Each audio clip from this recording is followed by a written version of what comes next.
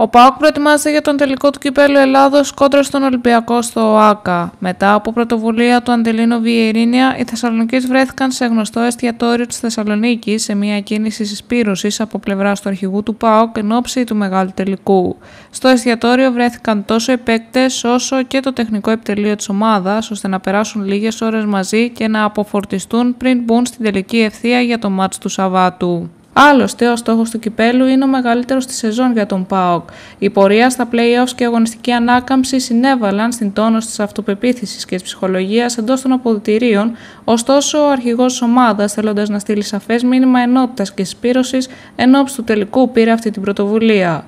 Το παιχνίδι του Σαββάτου στο ΟΑΚΑ είναι πάρα πολύ σημαντικό. Ο Πάοκ θέλει πολύ να κατακτήσει τον τίτλο. Ο Παύλο Γκαρσία και οι ποδοσφαιριστές του προετοιμάζονται γι' αυτό με τον Ουρουγουανό τεχνικό να μην έχει άλλη απουσία πέραν του Ινγκ Γκανσόν. Από εκεί και πέρα, με σχόλιο του στο Instagram, ο Γιώργος Αβίδη τόνισε πως θα δώσει το παρόν στο τελικό του κυπέλου ανάμεσα στον Ολυμπιακό και τον Πάοκ. Συγκεκριμένα απαντώντα σε φίλο του δικεφάλου, αναφέρει: Θα είμαι εκεί. Στον τελικό θα βρεθεί και ο Νίκος Σαββίδης με την οικογένεια Σαββίδη να θέλει να δώσει δυναμικό παρόν σε έναν ιδιαίτερα κρίσιμο αγώνα για την ομάδα του του κεφάλου.